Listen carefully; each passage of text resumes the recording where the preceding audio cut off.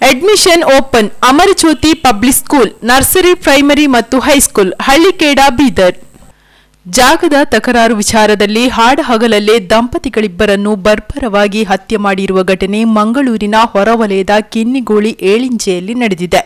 Vincent D'Souza ಹಾಗೂ ಹೆಲಿನ್ ಡಿಸೋಜಾ ಹತ್ಯೆಗೊಳಗಾದ ದುರ್ದೈವಿಗಳು. ನೆರೆಮನೆಯ ಅಲ್ಫಾನ್ಸ್ ಸಲ್ದಾನ ಎಂಬವನು ಈ ದುಷ್ಕೃತ್ಯವನ್ನು ಎಸಗಿದ್ದಾನೆ ಎಂದು ತಿಳಿದುಬಂದಿದೆ ಮನೆ ಪಕ್ಕದ ಜಾಗದ ತಕರಾರಿನ ಹಿನ್ನೆಲೆಯಲ್ಲಿ ಪಿಕ್ಕಾಸು ಹಾಗೂ ಹಾರೆಯಿಂದ ಹಲ್ಲೆ ನಡೆಸಿ ಮನೆ ಮುಂಭಾಗದಲ್ಲೇ ಭರ್ಭರವಾಗಿ ಕೊಲೆ ಮಾಡಿದ್ದಾನೆ.